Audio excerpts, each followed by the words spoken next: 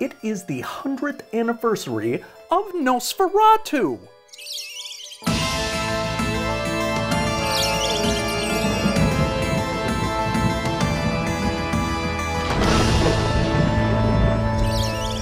Now, if you're watching this channel, you, you probably already know at least something about Nosferatu.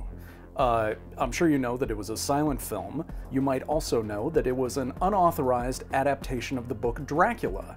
And we almost lost Nosferatu forever because Bram Stoker's widow, Florence Stoker, won a lawsuit to have all copies of Nosferatu destroyed. So it's really a miracle that we have this film to watch today. So as of last week, on, on March 4th, Nosferatu turned 100 from when it originally premiered in Berlin in 1922. And I wanted to do a special episode because I love this movie. And I was like, I can put together an episode all about the stuff that I know about Nosferatu. But then I was like, I kind of want to learn some stuff about Nosferatu too, you guys. So I invited someone who knows a hell of a lot more than I do about this film to join us today. So I'm just gonna button this up to look a little more respectable, and this this will just be our little secret. Today, we have a once in a hundred year opportunity to talk to the man who is the foremost authority on Nosferatu. And this guy uh, is a noted uh, film historian and scholar, especially when it comes to vampires and monster movies. He has written numerous books, some of which I have on hand right here. And it is my great honor to not only be able to meet today, but to introduce you guys to the one and only David J. Skal. Thank you for Hi. being here. John, thank you for having me. Um, I wouldn't call myself the absolute world's authority on Nosferatu. I probably am very authoritative on certain aspects of, of Nosferatu. Uh, Okay. You know, part of German Expressionism, which uh, I'm not an art historian, I'm a film historian, but uh, the whole cultural context uh, uh, is a bit beyond my pay grade. But I, okay.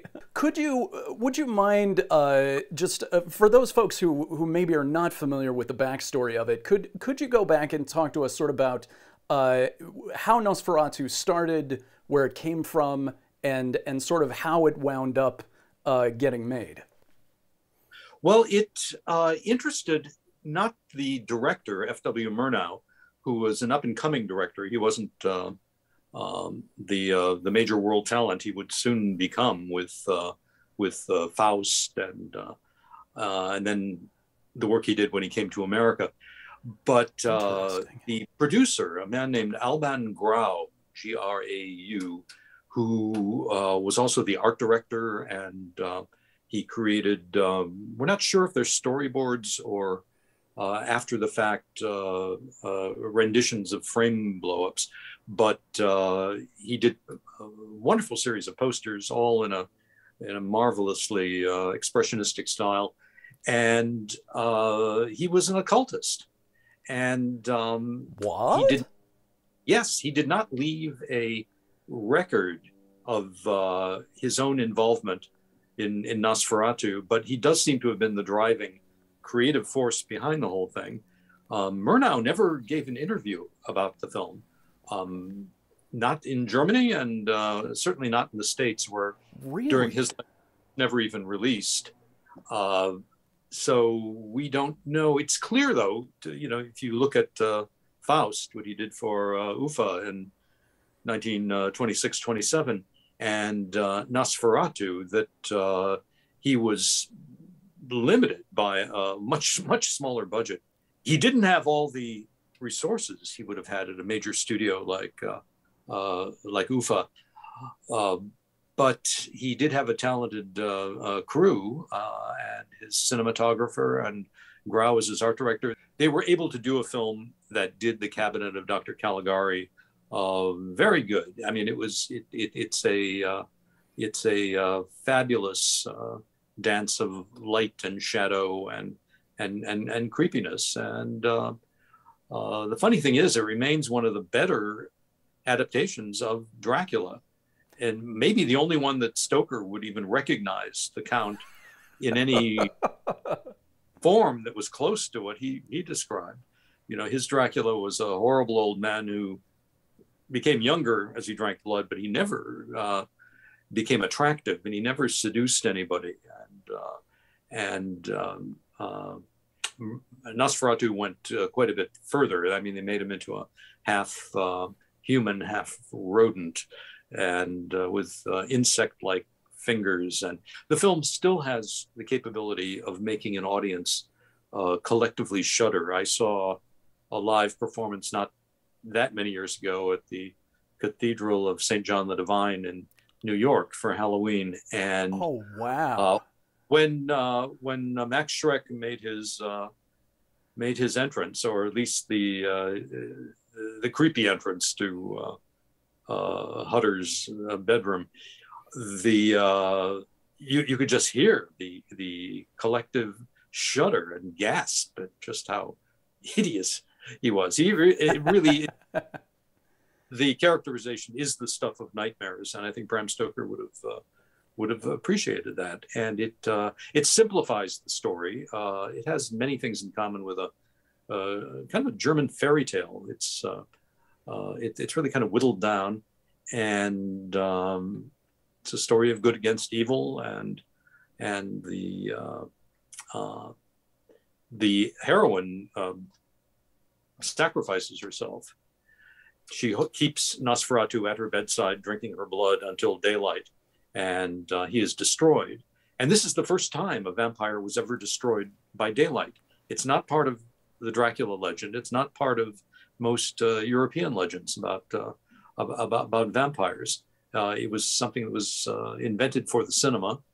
And I guess the old superstition that, uh, you know, things of evil would had to dissipate at, at, at, daybreak but they created the first image of a vampire being vaporized by the coming of the sun.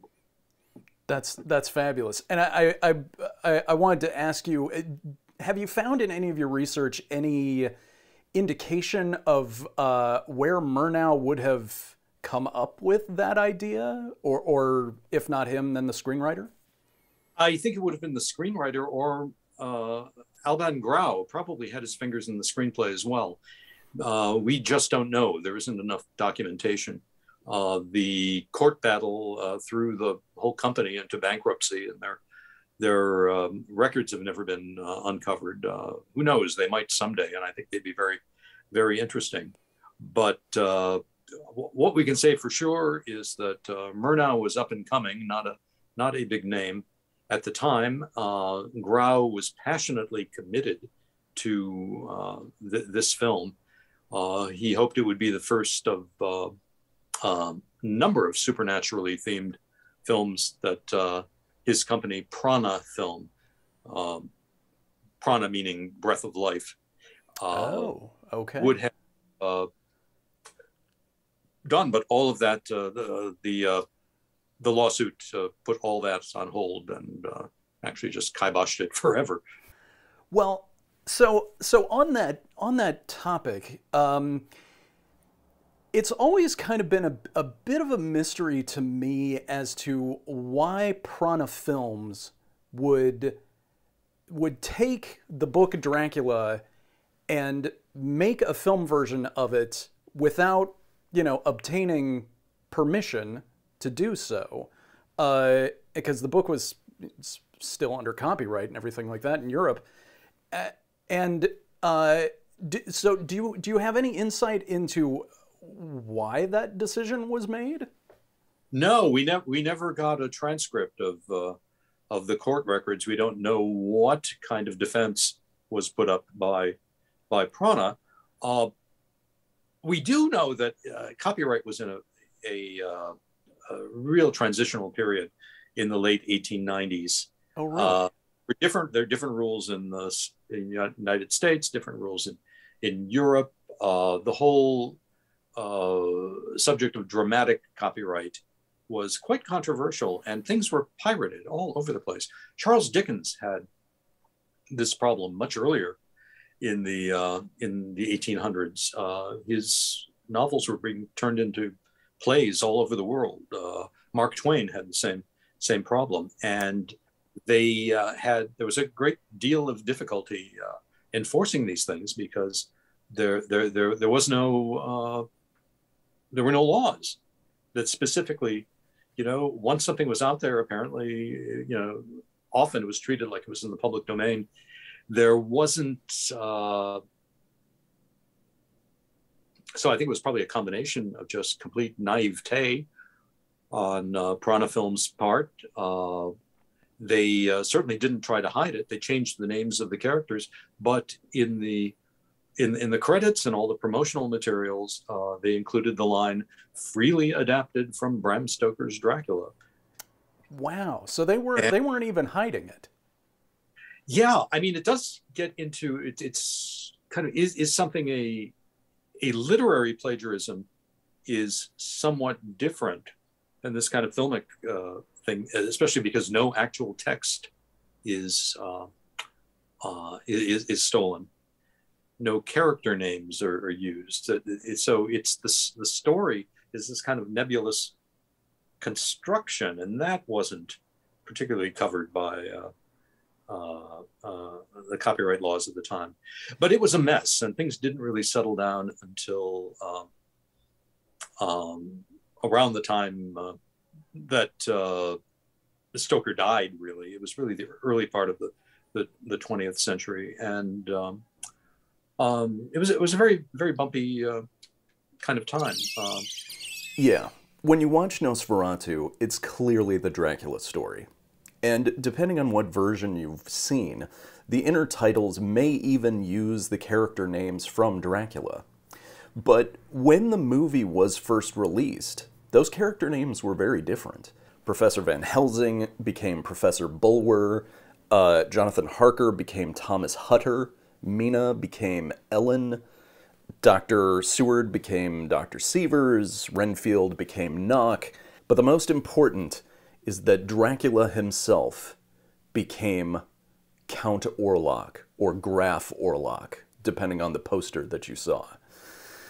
And it's a distinction that might seem somewhat trivial, but it effectively spun him off into a unique character that would change and grow down through the century. One of the things that uh, that they did, that Piranha Films did, as you just said, was that they changed a bunch of the character names and the location for where it takes place it takes place in Germany instead of England. Uh, and then the ending is very different. Um, do you get a sense through your research that that was all done in order to try and skirt any copyright problems, or was a lot of that? Again, we don't know. I mean, I guess that could have been thrown up as a. But if you were trying to do that, you wouldn't bill the film as freely adapted from Bram Stoker's. right. Uh, I think these people were very impractical, and uh, part of their going bank, they spent more money on the promotion of Nosferatu than they did uh, making the film. We do know that. Wow. So there may have been just a general level of uh, incompetence and impracticability. Uh, uh, uh, Grau did not get back into the film business anywhere after that. And um, Murnau chose not to talk about this film. That's amazing. So but okay, you, you, asked you asked earlier about yeah. um, the um, what was going on at the time Nosferatu came out, and uh, two things. World War One had come to a uh, uh, cataclysmic end, right? And right. So had so had the um, uh, the Spanish flu epidemic, which right. persisted up to the year before Nosferatu was uh, uh, being filmed, and so this the publicity that survives from Nosferatu does liken the vampire does liken Nosferatu to uh, uh, to the war itself. With, and he, the war is called a cosmic vampire that drained the lifeblood of of Europe, and this the procession of um, uh, of coffins in the street, that this plague imagery. This this was also a first. It's not anywhere in Dracula, uh, right. but it obviously has something to do with uh, Europe in those uh, uh, uh, days of the of the flu pandemic. Interesting. which was um, which rocked the world even more than COVID has. I mean, it, it's uh, what we uh, have just experienced or are still experiencing is uh, just a fraction of the of, of, of, of, the horror of it. So it it was not a it was not a quote unquote horror movie. It was not escapist entertainment. It was uh, self consciously an art film in the way that uh, the cabinet of Dr. Caligari uh, was. there were uh, uh, they were both anti-war statements, you know, in their in their own ways, gotcha. and and uh, they were presented with, you know, a full orchestration, not a not a rinky-dink, you know, piano accompanist, and they, they were the stuff of a night on the town and not, you know, a Saturday matinee. Uh, but it was America that you know took took a lesson. Uh, the commercial film industry here uh, imported a lot of uh, German talent uh, in the early 30s, uh, obviously escaping Hitler, and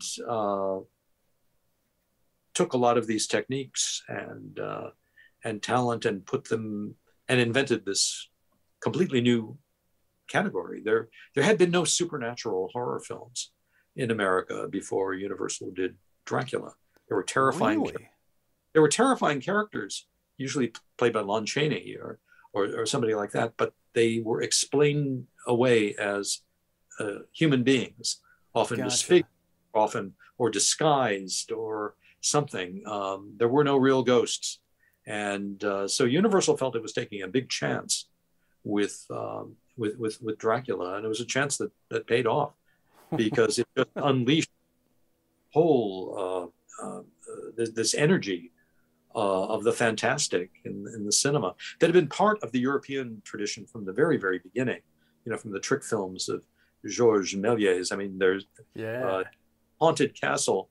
Uh, you you see a uh, a bat flittering through a castle, and it turns into this this caped devil, and it's it's it's right there at the very beginning of the motion picture, uh, something like Dracula was was waiting to be uh, facilitated.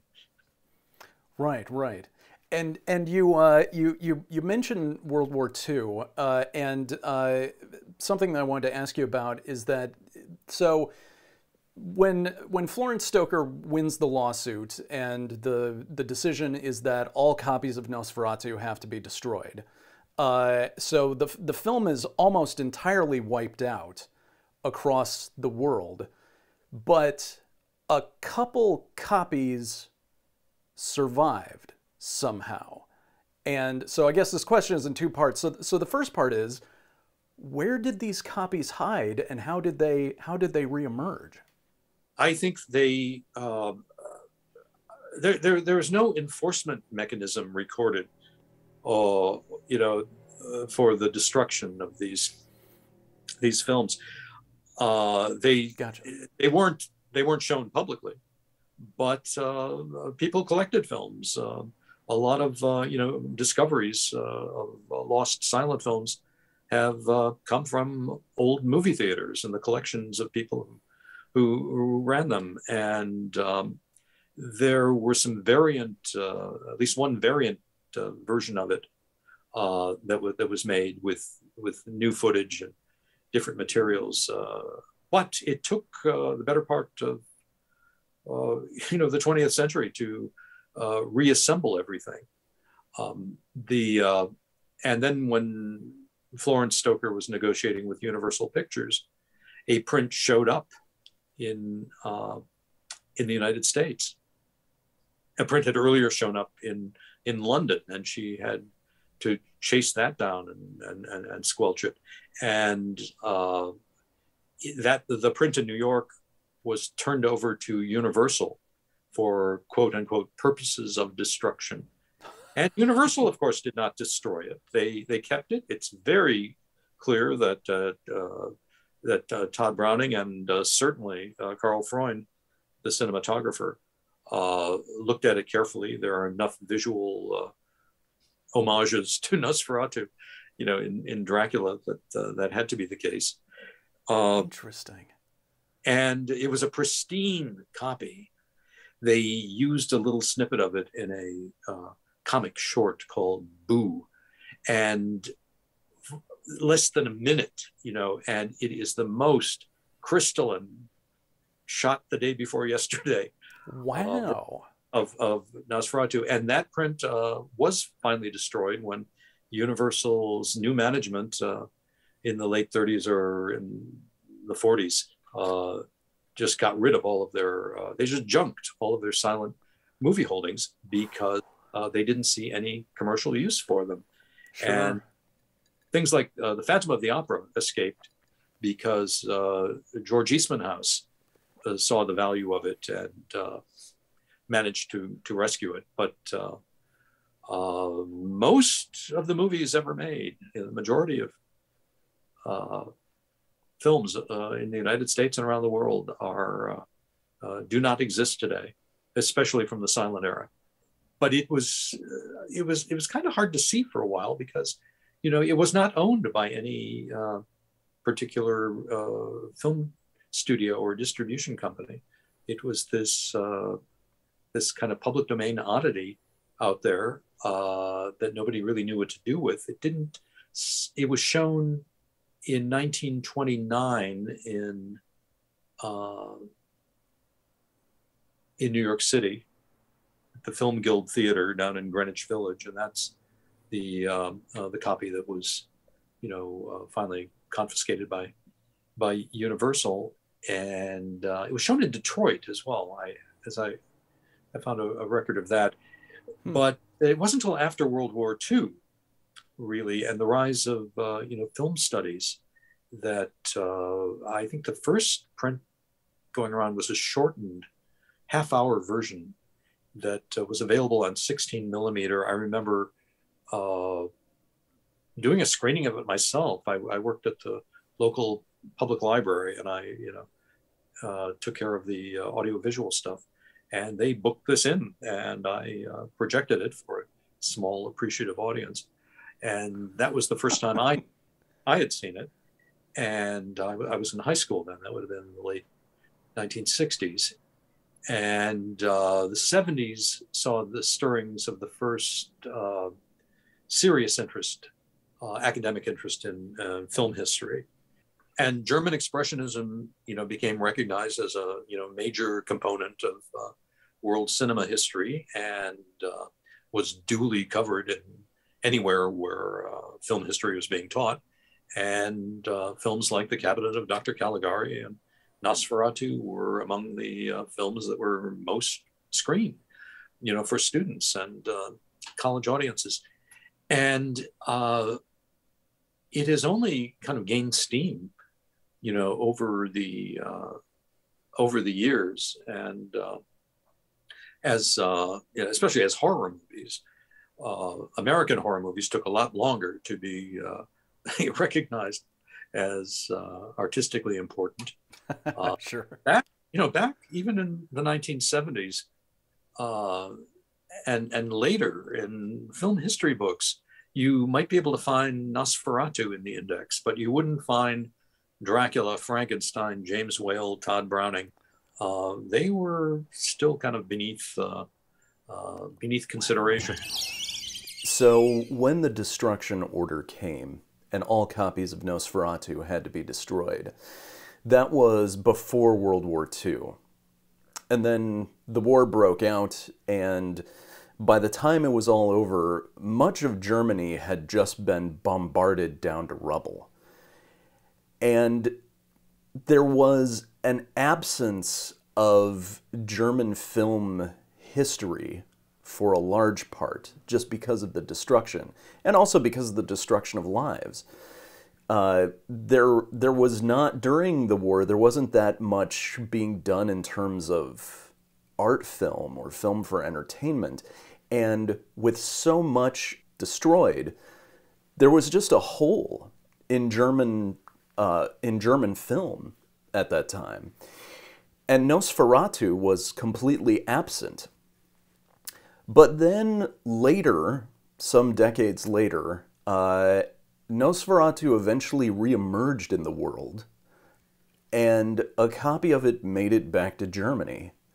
And a brand new generation of Germans saw this amazing film that they maybe didn't even know had existed before. And one of those filmmakers was a young director named Werner Herzog.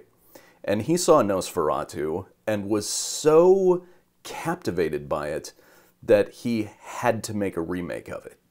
And so in 1979, uh, his movie Nosferatu Phantom der Nacht was released.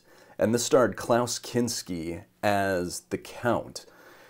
And Herzog decided to put all of the original names from the Dracula book back in. So, so Kinski is not playing Orlok per se, even though he has an amazing makeup job, uh, but he is addressed as Count Dracula. And this film, although not necessarily a shot for shot remake, is an amazing piece of art. It's haunting to watch. There is some incredible imagery, and the music is is so moody and wonderful that it will really stick with you for a long time after watching it. Then in 1988, there was a movie that was released called Vampire in Venice or Nosferatu 2. And this was a, uh, a project that was made by a producer named August Caminito, and forgive my Italian there, that was probably terrible, but he had seen Herzog's Nosferatu and he was blown away by it and he wanted to make a sequel to it.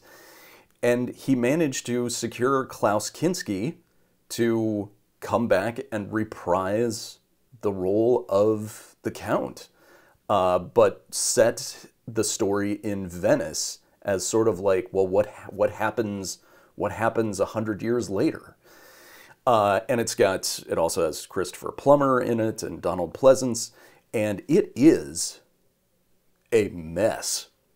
Evidently, Klaus Kinski was a, a, a monster both on and off set, and there were crew who abandoned the project and actors who abandoned the project and director abandoned the project and August had to take over the directorial responsibilities, and uh, he shot a bunch of the rest of the movie, but the script had to keep changing because Kinski wouldn't do things and he would just change things on the fly. And eventually, August just lost the will to finish shooting. He just didn't want to go back to that place. So he had to cut the movie together with the footage that he had and try to make a cohesive story. And that didn't work. Uh, when you watch the movie, it's it's a disaster. It's very beautiful in most places. It, there are some really cool images in it from time to time but you get to the end and you're like, okay, I don't know what the hell I just watched. So Vampire in Venice just becomes this sort of weird little footnote for Nosferatu and is just another example of a tangent that Count Orlok went off in that got the character further and further away from Dracula. And in fact, if you were to show a picture of Max Schreck from Nosferatu, a lot of people would say, "Oh, Nosferatu." Like they they actually recognize that silhouette of the character, but they probably don't even realize that that character was originally meant to be Count Dracula. After all, the most memorable parts of Nosferatu really have nothing to do with the Dracula story, for the most part. So it makes sense that when people see Max Schreck as Count Orlok, it has such an effect on them that their memory of the movie is sort of like it's this unique thing, completely separate from Dracula. So I uh, so I guess uh, the, the the other thing that I wanted to come back to was the uh, the idea of you projecting a 16 millimeter copy of Nosferatu as as a teenager in Yeah. your local library.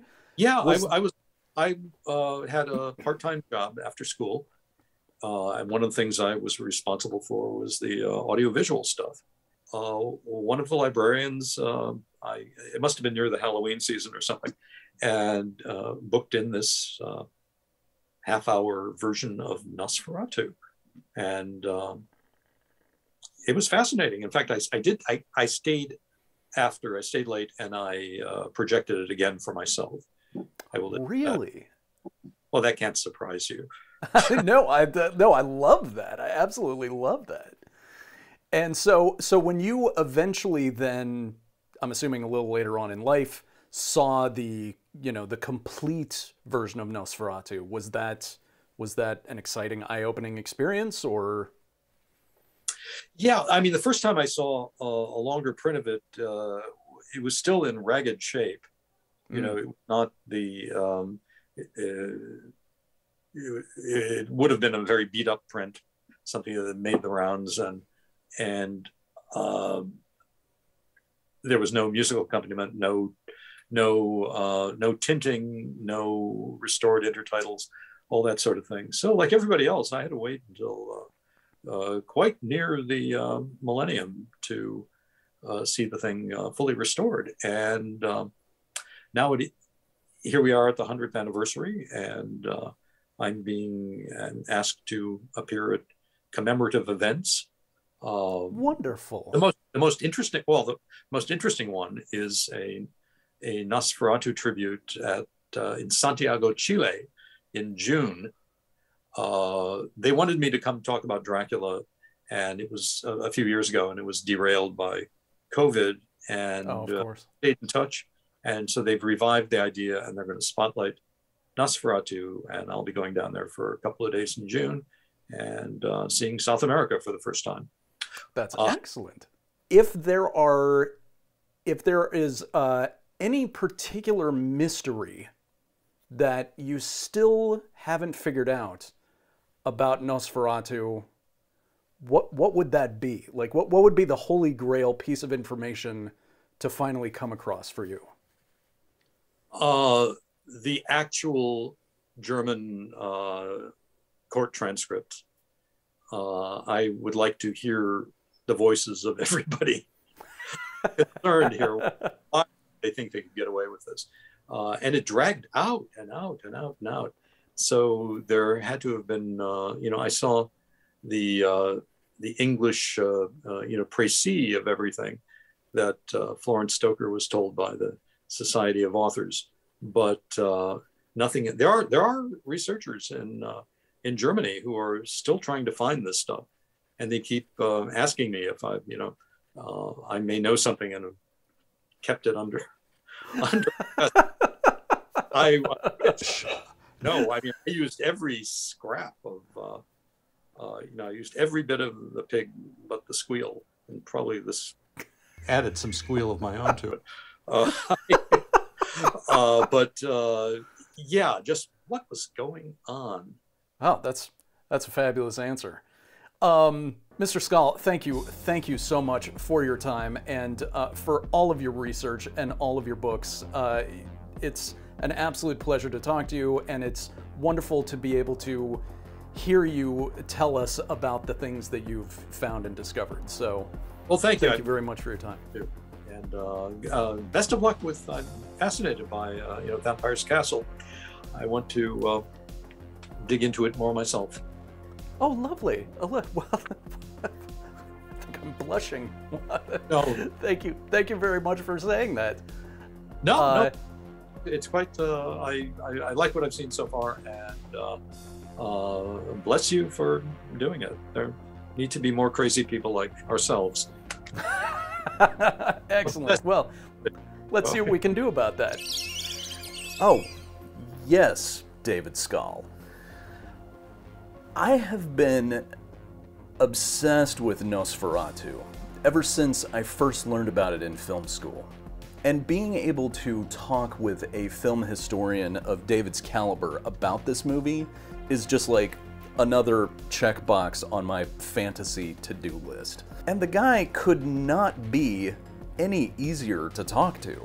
He was so nice and so knowledgeable. I mean, he he literally wrote the book on vampire film studies. In fact, the interview that you just watched is only really half of what we talked about, uh, because we got off on Dracula tangents all the time, and he told me some amazing stuff about Dracula and Bram Stoker that completely blew my mind that I had never heard before. Uh, so I have taken all that out and I've held it back, and I'll be releasing that as a separate episode that is just about Dracula. But in the meantime, you were probably wondering where can I watch a copy of Nosferatu? Well, as it happens, you can watch it right here on YouTube. In fact, I'll put a link up and I'll put a link down below to where you can find it. But fair warning, uh, it is also a very ragged print, which is certainly charming in its own way. But it's also quite a bit shorter than the original version that was released.